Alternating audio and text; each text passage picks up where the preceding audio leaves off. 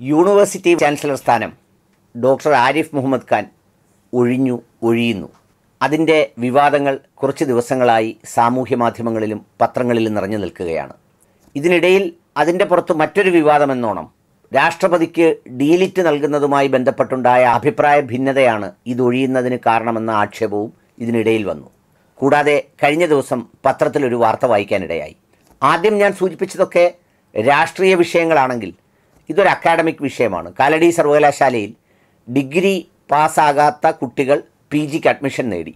അതിനവരെ പുറത്താക്കുകയോ ഇനി നടപടി വരുമെന്ന് പറയുകയോ ഒക്കെ ചെയ്യുന്നു. പിന്നെ കഴിഞ്ഞ കുറേ കാലങ്ങളായി പിൻവാതിൽ നിയമനങ്ങൾ മുൻവാതിൽ നിയമനങ്ങൾ വി സി നിയമനങ്ങൾ ഇങ്ങനെ ഇങ്ങനെയൊക്കെയുള്ള ഒട്ടേറെ വിവാദങ്ങളിലാണ് നമ്മുടെ യൂണിവേഴ്സിറ്റികൾ നീങ്ങിക്കൊണ്ടിരിക്കുന്നത്. നീതി ആയോഗിന്റെ കണക്കുകളിലെല്ലാം നാം ഒന്നാമതാണ്. പല മേഖലകളിലും ഒന്നാമതായി തന്നെ തുടരുന്നു. ഇത് പറയുമ്പോൾ നമ്മുടെ യൂണിവേഴ്സിറ്റികളിലെ അക്കാഡമിക് വൈഭവം അവിടെ നിന്ന് ഉത്ഭവിക്കുന്ന പ്രതിഭാതനരായ എത്ര പേർ?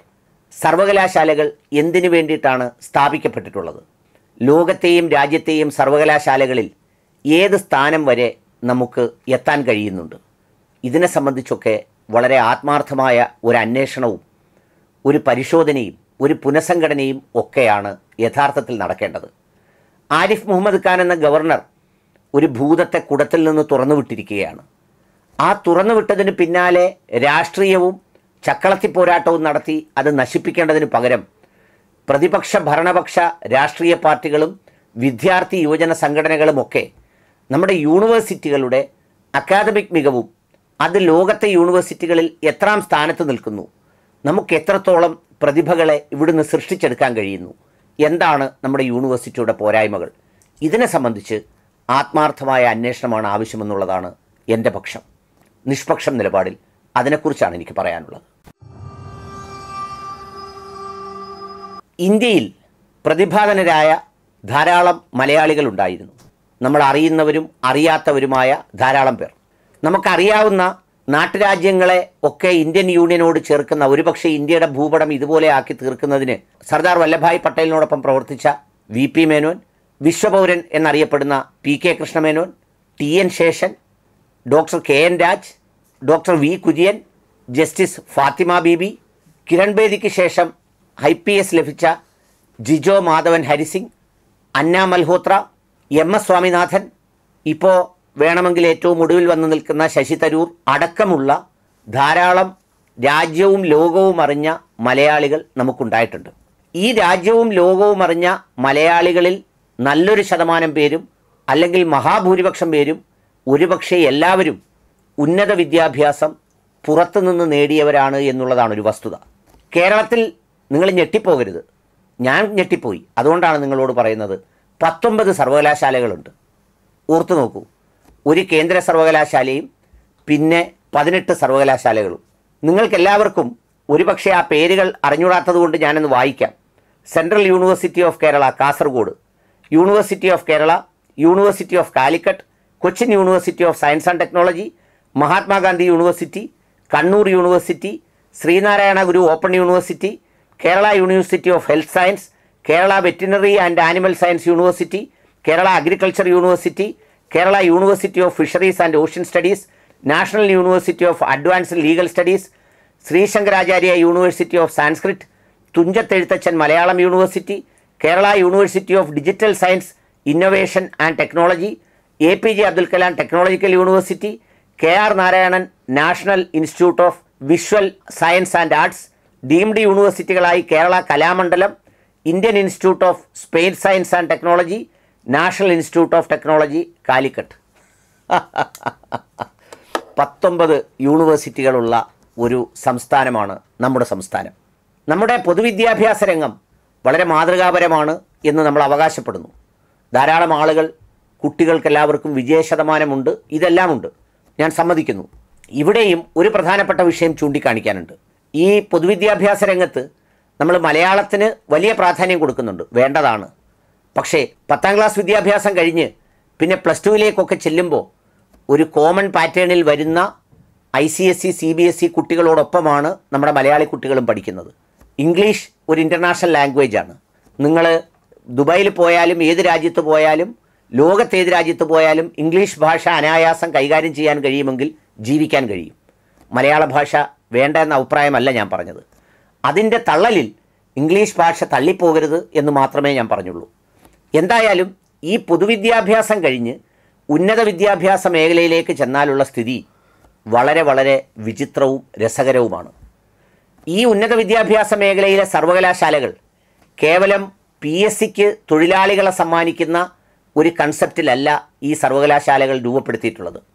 ഈ സർവകലാശാലകളിൽ നിന്ന് കുറഞ്ഞത് ഒരു പത്ത് വർഷം കൂടുമ്പോഴെങ്കിലും ഒരു പത്ത് പ്രതിഭകളെ നമുക്ക് സൃഷ്ടിക്കാൻ കഴിയുന്നില്ലെങ്കിൽ ഈ രാജ്യമറിയുന്ന ലോകമറിയുന്ന ആളുകളെ സൃഷ്ടിക്കാൻ കഴിയുന്നില്ലെങ്കിൽ പിന്നെ ഇത്തരം യൂണിവേഴ്സിറ്റികൾ കൊണ്ട് എന്തർത്ഥമാണുള്ളത്? മലയാളികൾ കേമന്മാരും മിടുക്കന്മാരുമാണ് എന്നുള്ള കാര്യത്തിൽ യാതൊരു സംശയവുമില്ല. പക്ഷേ അങ്ങനെ മിടുക്കന്മാരാവുന്നതിൽ അധികം ആളുകളും ഞാൻ നേരത്തെ സൂചിപ്പിച്ചതുപോലെ ഒന്നെങ്കിൽ ഈ സംസ്ഥാനത്തിന് പുറത്തുള്ള യൂണിവേഴ്സിറ്റികളിൽ അല്ലെങ്കിൽ രാജ്യത്തിന് പുറത്തുള്ള യൂണിവേഴ്സിറ്റികളിൽ അവിടെ പഠിച്ചാണ് അവരുടെ കാഴ്ചപ്പാടുകൾ രൂപപ്പെടുത്തിയെടുക്കുന്നതും അവരാണ് ശ്രദ്ധേയമായ സ്ഥലങ്ങളിൽ എത്തിച്ചേരുന്നതുമെല്ലാം. ഇവിടെ ഒരു പ്രധാനപ്പെട്ട കാര്യം കേരളത്തിന്റെ സർവകലാശാല ഘടനകൾ എടുത്തു നോക്കുമ്പോൾ ഞാൻ നേരത്തെ പറഞ്ഞതുപോലെ പത്തൊമ്പത് സർവകലാശാലകൾ ഉണ്ടെങ്കിലും ഈ പത്തൊമ്പത് സർവകലാശാലകളിൽ നല്ലൊരു ശതമാനം സർവകലാശാലകളും ഈ പറയുന്ന മതസംഘടനകൾക്കും മതാധിഷ്ഠിത സാമൂഹിക സംഘടനകളെയും തൃപ്തിപ്പെടുത്തുന്ന വിളനിലങ്ങളാണ്. എന്നുവെച്ചാൽ ഓരോരുത്തരുടെയും പേരിൽ ഓരോ ജാതിയുടെയും പേരിൽ ഓരോ മതത്തിന്റെയും പേരിൽ ഒളിഞ്ഞും തെളിഞ്ഞും യൂണിവേഴ്സിറ്റികളും അത്തരം സ്ഥാപനങ്ങളും ഉണ്ടാക്കി അവരെ പ്രീണിപ്പിക്കുകയും അവരെ തൃപ്തിപ്പെടുത്തുകയും ആ സമുദായത്തെ ഒപ്പം നിർത്തുകയും ചെയ്യുക എന്നുള്ളതാണ് ഈ പറയുന്ന വിദ്യാഭ്യാസ മേഖലയിൽ ഒരുപക്ഷെ ജോസഫ് മുണ്ടശ്ശേരിക്ക് ശേഷമുള്ള കാലഘട്ടത്തിൽ കേരളത്തിൽ നടന്നുകൊണ്ടിരിക്കുന്നതെല്ലാം. നായർക്ക് ഈഴവർക്ക് മുസ്ലിമിന് ക്രിസ്ത്യാനിക്ക് എന്നുള്ള വകതിരിവുകളിൽ വ്യത്യസ്തങ്ങളായ വിദ്യാഭ്യാസ സ്ഥാപനങ്ങൾ യൂണിവേഴ്സിറ്റികൾ അതുപോലെയുള്ള എയ്ഡഡ് സ്ഥാപനങ്ങളെല്ലാം ഇവർക്കായി തീറെഴുതി കൊടുത്ത് ഇവരൊക്കെ പറയുന്ന ആളുകളാണ് പലപ്പോഴും പിന്നണിയിൽ നിന്ന് വി സിമാരായി പല കസേരകളിലേക്കും എത്തുന്നത്. അതിനപ്പുറം ഒരു യു ആർ അനന്തമൂർത്തി സാറോ അല്ലെങ്കിൽ എന്നോ വന്ന് ഇവിടെ അപമാനിക്കപ്പെട്ട് തിരിച്ചുപോയ വിളനിലം സാറിനെയോ പോലെയൊക്കെയുള്ള പ്രതിഭാധനരായ ആളുകൾ. ഞാൻ എല്ലാവരുടെയും പേരുകൾ ഓർക്കുന്നില്ല. വളരെ അപൂർവമായി അത്യാപൂർവമായി മാത്രം സംഭവിക്കുന്ന ചില സംഗതികളാണ്. നമ്മൾ ഹാലിയുടെ വാൽനക്ഷത്രം വരുന്നത് പോലെ എഴുപത്താറ് വർഷത്തിൽ ഒരിക്കലെങ്ങാണമാണ് ഒരു പ്രതിഭാധനനായ വൈസ് ചാൻസലർ മറ്റൊരു തള്ളലും ഉന്തുമില്ലാതെ പിന്നാമ്പുറങ്ങളിൽ ജാതിയുടെ സമവാക്യങ്ങളില്ലാതെ ഈ കസേരകളിലേക്ക് എത്തുന്നത് എന്നുള്ളതാണ് ഒരു പ്രധാനപ്പെട്ട സ്ഥിതി. ആ കസേരയിലേക്ക് എത്തുന്ന അല്ലെങ്കിൽ ആ സ്ഥാപിക്കപ്പെടുന്ന ആൾ അവിടം മുതൽ പിന്നെ ശ്രമിക്കുന്നത് മുഴുവൻ അദ്ദേഹത്തിനെ സ്ഥാപിച്ച മതസംഘടനയ്ക്കോ അല്ലെങ്കിൽ രാഷ്ട്രീയ സംഘടനയ്ക്കോ വേണ്ടി കുഴലൂത്ത് നടത്തുകയും അണിയറ പ്രവർത്തനങ്ങൾ ഒരുക്കുകയും ചെയ്യുക എന്നുള്ളതാണ് അദ്ദേഹത്തിന്റെ ഏറ്റവും പ്രധാനപ്പെട്ട ദൗത്യം. അതിനു പകരം ഈ സർവകലാശാലകളെ സ്വതന്ത്ര ചിന്തകളുടെ കേന്ദ്രങ്ങളാക്കാനോ ഗവേഷണ വിദ്യാഭ്യാസം അടക്കമുള്ള മേഖലയിലേക്കുള്ള സൗകര്യങ്ങൾ ഒരുക്കാനോ സത്യം പറഞ്ഞാൽ കഴിയാതെ പോകുന്നൊരു സ്ഥിതിയുണ്ട്.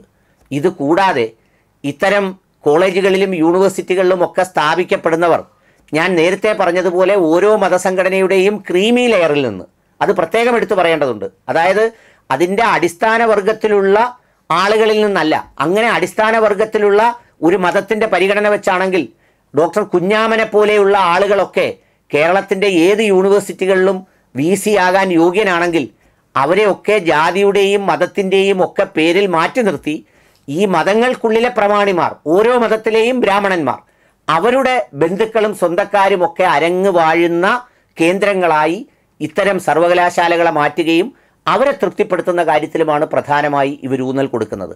അല്ലാതെ ഒരു ലിബറൽ കാഴ്ചപ്പാടുള്ള സ്വതന്ത്രമായി യൂണിവേഴ്സിറ്റി വളർത്തിയെടുക്കുന്നതിനുള്ള അത്തരം അക്കാഡമിക് നൈപുണിയുള്ള ആളുകളെ നിയമിക്കാൻ നമ്മുടെ മാറി മാറി വരുന്ന സർക്കാരുകൾ ആരും തയ്യാറാകുന്നില്ല എന്നുള്ളതാണ് സത്യം. മുണ്ടശ്ശേരി മാഷൊക്കെ വളരെ കരുത്തോടെ തീരുമാനമെടുത്തപ്പോൾ എല്ലാവരും കൂടി യോജിച്ച് നിന്ന് ആക്രമിച്ച് മുണ്ടശ്ശേരി മാഷിന്റെ ഈ സിദ്ധാന്തങ്ങളെയൊക്കെ എതിർത്ത് തോൽപ്പിക്കേണ്ടി വന്നപ്പോൾ പിന്നെ എന്നേക്കുമായി ഈ മതശക്തികൾക്ക് കീഴടങ്ങുക എന്നുള്ള അവസ്ഥയിലേക്ക് പുരോഗമന രാഷ്ട്രീയ സർക്കാരുകൾ പോലും എത്തുന്നു എന്നുള്ളതാണ് സ്ഥിതി.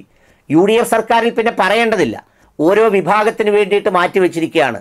സെനറ്റിലെയും അതുപോലെ തന്നെ സിൻഡിക്കേറ്റിലെയും ഒക്കെ സ്ഥാനമാനങ്ങൾ എടുത്തു നോക്കിയാൽ ഓരോ മതസംഘടനകളുടെയും മുതലാളിമാരുടെ ഏറ്റവും അടുത്ത ബന്ധുക്കൾ അല്ലെങ്കിൽ അവർക്ക് ഏറ്റവും പ്രിയമുള്ളവരാണ് ഇത്തരം കസേരകളിലൊക്കെ കയറിയിരിക്കുന്നത്. ചുരുക്കത്തിൽ ഇത്തരം യൂണിവേഴ്സിറ്റികളിൽ നമ്മുടെ യൂണിവേഴ്സിറ്റികളിൽ ഒന്നും തന്നെ എന്തെങ്കിലും ഗവേഷണ സൗകര്യങ്ങൾക്കുള്ള കാര്യങ്ങളോ അല്ലെങ്കിൽ അത്തരം വിഷയങ്ങളോ പഠന മികവുകളോ അല്ലെങ്കിൽ അത്തരം കാര്യങ്ങൾക്കോ ഒക്കെ അപ്പുറത്ത് ഞാൻ നേരത്തെ പറഞ്ഞതുപോലെ തൃപ്തിപ്പെടലും തൃപ്തിപ്പെടുത്തലുമാണ് നടന്നുപോയിക്കൊണ്ടിരിക്കുന്നത്. നിങ്ങൾ ഓർക്കേണ്ടത് ഇവിടുത്തെ യൂണിവേഴ്സിറ്റികൾക്കൊന്നും തൽക്കാലത്തേക്കെങ്കിലും വേറെ തരത്തിലുള്ള വംശീയാക്രമണങ്ങളൊന്നും നേരിടുന്നില്ല. എന്നാൽ ജാമിയ മിലിയ യൂണിവേഴ്സിറ്റിയൊക്കെ പോലെയുള്ള യൂണിവേഴ്സിറ്റികൾ എല്ലാ തരത്തിലുള്ള എതിർപ്പുകൾ നേരിടുമ്പോഴും ലോകത്തിലെ പത്ത് സർവകലാശാലകളിൽ ഒരെണ്ണമായി അത്തരം യൂണിവേഴ്സിറ്റികൾ മാറുകയും ഞാൻ നിരന്തരം അതിനെ ഫോളോ ചെയ്യുന്നതുകൊണ്ട് എത്രയോ എത്രയോ പഠന മികവുകൾക്കാണ് അന്താരാഷ്ട്ര തലത്തിലുള്ള പല യൂണിവേഴ്സിറ്റികളും ഈ അലിഗഡ് യൂണിവേഴ്സിറ്റിയെയും ഹൈദരാബാദ് യൂണിവേഴ്സിറ്റിയെയും ഒക്കെ ഒക്കെ അംഗീകരിക്കുന്നു അംഗീകരിക്കപ്പെടുന്നു എന്നുള്ളത്. എന്നാൽ നമ്മുടെ യൂണിവേഴ്സിറ്റികളിലാവട്ടെ ഇത് പ്രധാനമായും നടക്കുന്നത് ഞാൻ നേരത്തെ പറഞ്ഞതുപോലെ ഡിഗ്രിക്ക് പരാജയപ്പെട്ട ആൾ പി ജിക്ക് അഡ്മിഷൻ നേടുന്നു. ഒരു യൂണിവേഴ്സിറ്റിയിലൊക്കെ പഠിച്ച വിദ്യാർത്ഥി എന്നുള്ള നിലയിൽ എനിക്കറിയാം ഒരു ടി സി വാങ്ങാനോ അല്ലെങ്കിൽ ഒരു സർട്ടിഫിക്കറ്റ് വാങ്ങാനോ അല്ലെ പി എച്ച് ഡിക്ക് ഒരു എൻട്രൻസ് പരീക്ഷ എഴുതിയിട്ടോ ചെല്ലുമ്പോൾ അവിടെ വാതിലിൽ നിൽക്കുന്ന സെക്യൂരിറ്റിയുടെ മുതൽ അങ്ങ് ഏറ്റവും മുകളിൽ ഇരിക്കുന്ന ആളുകളുടെ വരെ ആ ജാടയും ആ പേഷ്കാർ ഭാവവും ആ എന്താ പറയുന്നത് തലയെടുപ്പും ഒക്കെ കണ്ടാൽ അതൊക്കെ കണ്ടിട്ടാണ് ധാരാളം പേർ ഈ നാട് വിട്ട് വേറെ ഏതെങ്കിലുമൊക്കെ സംസ്ഥാനത്തേക്കോ രാജ്യത്തേക്കോ പഠന ഗവേഷണങ്ങൾക്കൊക്കെ പോകുന്നത്. അത്തരം യൂണിവേഴ്സിറ്റികളിൽ ഈ തോറ്റുപോകുന്നവൻ പി ജിക്ക് അഡ്മിഷൻ നേടിയെന്ന് പറഞ്ഞാൽ യഥാർത്ഥത്തിൽ അവനെയൊക്കെ അംഗീകരിക്കുകയും മറ്റൊരു ഡിഗ്രിയും കൂടാതെ അവനെയൊക്കെ ഏതെങ്കിലും വി സി ആയി ഏതെങ്കിലും കോളേജുകളുടെ നിയമിക്കേണ്ടതുമാണ്. ഞാൻ പറഞ്ഞത് ഇവിടുത്തെ ചർച്ച തുടരേണ്ടതും നടക്കേണ്ടതും രാഷ്ട്രീയ അടിസ്ഥാനത്തിലാകരുത്. ഈ കേരളത്തിലെ യൂണിവേഴ്സിറ്റികളിൽ എന്തിനോടെങ്കിലുമൊക്കെ താല്പര്യമുണ്ടെങ്കിൽ ആ യൂണിവേഴ്സിറ്റികളെ ശക്തിപ്പെടുത്താൻ വേണ്ടിയാണ് ശ്രമിക്കേണ്ടത്. ഇനി ഇപ്പോൾ ശ്രീനാരായണ ഗുരുദേവന്റെ പേരിലൊരു യൂണിവേഴ്സിറ്റി ചിലപ്പോൾ നാളെ ഇലക്ഷൻ അടുത്ത് വരുമ്പോഴത്തേക്ക് അടുത്ത ചട്ടമ്പി സ്വാമികളുടെ പേരിലൊരു യൂണിവേഴ്സിറ്റി കുറച്ചങ്ങോട്ട് കഴിയുമ്പോഴത്തേക്ക് വക്കം അബ്ദുൽ ഖാദറിന്റെ പേരിലൊരു യൂണിവേഴ്സിറ്റി പിന്നെ ചാവറയച്ചന്റെ പേരിലൊരു യൂണിവേഴ്സിറ്റി. ഇങ്ങനെ യൂണിവേഴ്സിറ്റികൾ അനുവദിച്ച് അതിന് പറ്റുന്ന ആളുകളെയും കൊടുത്ത് എന്നാൽ നല്ലൊരു ക്യാമ്പസ് പോലും ഉണ്ടാക്കിയെടുക്കാൻ കഴിയാതെ എവിടെയെങ്കിലുമൊക്കെ ചെറിയ കടമുറികളിൽ യൂണിവേഴ്സിറ്റി എന്നുള്ള പേര് വെച്ച് പ്രവർത്തിക്കുകയും അതിനുള്ള സ്റ്റാറ്റ്യൂട്ടും അധികാരവും കൊടുക്കുമ്പോൾ ബാക്കി യൂണിവേഴ്സിറ്റികൾ ആരും ഈ പറയുന്ന പല യൂണിവേഴ്സിറ്റികൾക്കും പ്രവർത്തിക്കാൻ ആവശ്യമായ സ്വയംഭരണാധികാരം കൊടുത്തില്ലെങ്കിൽ അതൊക്കെ തർക്കങ്ങളായി തുടരുകയും അഞ്ചും പത്തും വർഷങ്ങൾ കഴിഞ്ഞാലും ഒരുപക്ഷെ സ്ഥാപിക്കപ്പെടുന്ന ചിലർക്കൊക്കെ ഒരു ലാവണമാകുന്നു എന്നുള്ളതിനപ്പുറത്തേക്ക് കേരളത്തിന്റെ പഠന ഗവേഷണ മേഖലകളിലൊന്നും യാതൊരു സൃഷ്ടിപരമായ കാര്യവും നടക്കുന്നില്ല എന്നുള്ളതാണ് വാസ്തവം. അതുകൊണ്ട് ഈ സന്ദർഭത്തിലെങ്കിലും ഇതിന്റെ രാഷ്ട്രീയത്തെക്കുറിച്ച് ചർച്ച ചെയ്യാതെ ഭരണ പ്രതിപക്ഷ ആക്രമണത്തിൽ നിന്ന് മാറി നിന്നുകൊണ്ട് നമ്മുടെ യൂണിവേഴ്സിറ്റികളിൽ ഏതെങ്കിലുമൊക്കെ യൂണിവേഴ്സിറ്റികളെ ഞാൻ പറഞ്ഞത് പത്തൊമ്പത് യൂണിവേഴ്സിറ്റികളുള്ള സ്ഥലത്ത് ഒരു പകുതി യൂണിവേഴ്സിറ്റികളെയെങ്കിലും സെന്റർ ഓഫ് എക്സലൻസ് ആക്കാൻ ലോകത്ത് ഏത് യൂണിവേഴ്സിറ്റിയോടൊപ്പം ഞാൻ ഓക്സ്ഫോർഡിലാണ് പഠിച്ചത് ഞാൻ കേംബ്രിഡ്ജിലാണ് പഠിച്ചത് അല്ലെങ്കിൽ ഞാൻ ഈ പറഞ്ഞതുപോലെ ജാമിയ മിലിയയിലാണ് പഠിച്ചത് എന്ന് പറയുന്നത് ഒരു വിദ്യാർത്ഥിക്ക് എത്രത്തോളം അഭിമാനമുണ്ടാക്കുമോ അതുപോലെ പറയാൻ കഴിയുന്ന ഒരവസ്ഥയിലേക്ക് യൂണിവേഴ്സിറ്റികളുടെ പ്രവർത്തനങ്ങളെ എത്തിക്കുകയാണ് വേണ്ടത്. അവിടെയാണ് യൂണിവേഴ്സിറ്റിക്ക് ഒരു അന്തസ്സും അഭിമാനവും കിട്ടുന്നത്. അതിനു പകരം ആ വാതിൽ നിയമനം ഈ വാതിൽ നിയമനം ചെറിയ നിസ്സാരപ്പെട്ട കാര്യങ്ങളെ വലിയ സംഭവങ്ങളാക്കി അതിന്റെ മേൽ ജാഥയൊക്കെ നടത്തുമ്പോൾ ഈ രാഷ്ട്രീയ പാർട്ടികൾ ആരെങ്കിലും ഒരു സ്വതന്ത്രമായ ഗവേഷകരെയോ ചിന്തകരെയോ ഏൽപ്പിച്ച് ഈ ഉന്നത വിദ്യാഭ്യാസ മേഖല അല്ലെങ്കിൽ അക്ഷരാർത്ഥത്തിൽ സർവകല എന്നൊക്കെ പറയുന്നത് പോലെ ആ സർവകലാശാലകൾ യഥാർത്ഥത്തിൽ സർവകലയില്ലെങ്കിൽ പോലും അല്പകലാശാലകളെങ്കിലും ആക്കി മാറ്റാനുള്ള ആത്മാർത്ഥമായ ശ്രമമാണ് ഇവിടെ ഉണ്ടാകേണ്ടതെന്ന് വിനയപൂർവം പറഞ്ഞുകൊള്ളട്ടെ.